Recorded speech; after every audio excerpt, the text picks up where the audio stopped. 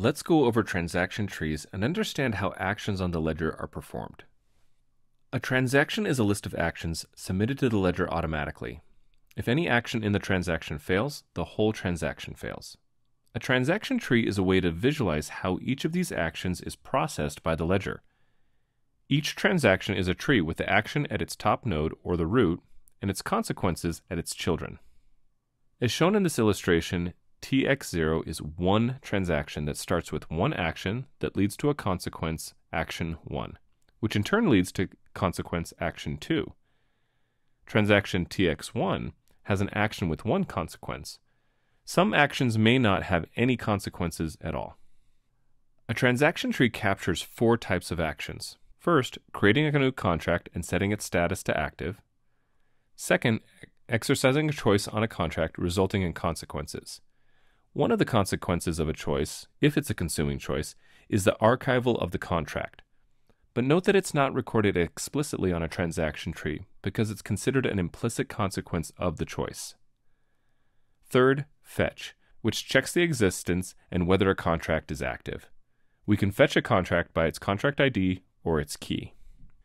And fourth, key assertion, which is an assertion that the given key is not assigned to any active contract on the ledger.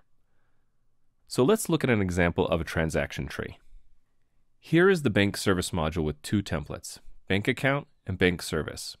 Bank account has one choice deposit, which creates a new account with the updated balance amount. Bank service has a choice, find account by ID, which uses the fetch function to fetch the contract with the same ID as the one passed to it. On the script side, we allocate two parties, Alice and Bank. And then we submit a command to create an account that gives us the contract ID as Alice account CID. We then exercise the deposit choice with the amount as 20. Next, we create a contract from the bank service template and then use its contract ID to exercise the find account by ID choice. Passing it the contract ID we got when we exercised deposit choice on Alice's account. So there are four things that we did. We created Alice's account, deposited the amount of 20, created the bank service contract, and then exercised the find account by ID. Let's take a look at the visual representation of these four actions on the ledger. The first submit statement has the bank and Alice creating a bank account with an initial deposit of 100. Note the root of this transaction with the ID 0 colon 0. The number before the colon is the commit number and the number after the colon is the action number. The root has one node for the create action that creates the account. The create nodes do not have consequences and do not have children nodes. The second transaction has two actions. One action is the exercised deposit choice, and the second action is the creation of a new account. The creation of a new account happens automatically because the deposit choice is a consuming choice and will archive the contract it uses. And so after the deposit, a new account needs to be created. Note that the archival is not shown as an action in this tree as it's an implicit part of the exercise action. This example shows us two types of nodes in a tree. Let's look at the third type. That's fetch. TX2 shows the creation of the bank service contract. Then TX3 shows the choice find account by ID exercised and within that it shows the fetch function being called. So far, we've seen how to create, exercise, and fetch actions as they're recorded in a transaction tree. The last type of action recorded in the tree is key assertion. A key assertion records the assertion that the given contract key is not assigned to any active contract on the ledger. So in a way, it's the negative outcome of a lookup by key in the ledger. The function which helps us do this is lookup by key.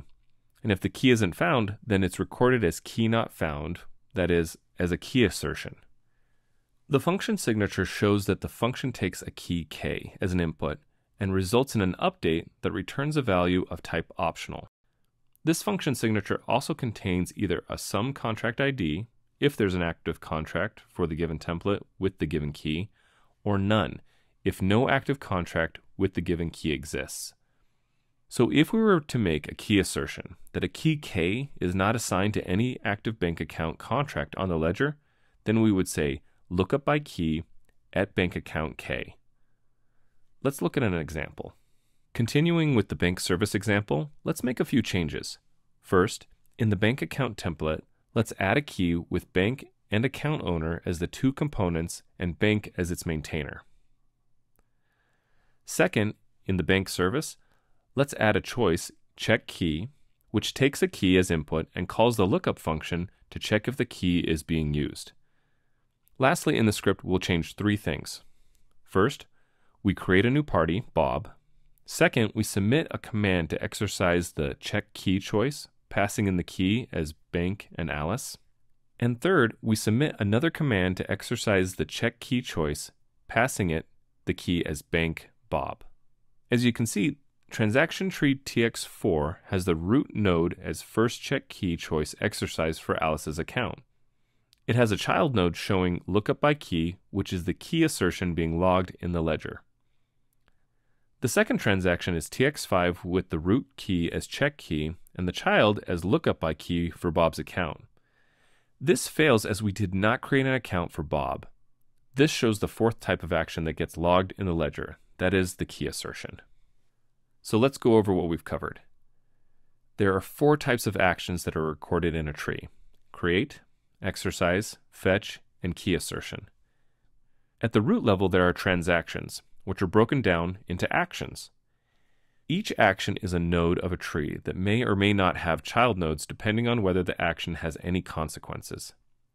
Three of the four actions, create, fetch, and key assertion, don't have consequences and will not have child nodes. Only exercise has consequences and would have child nodes.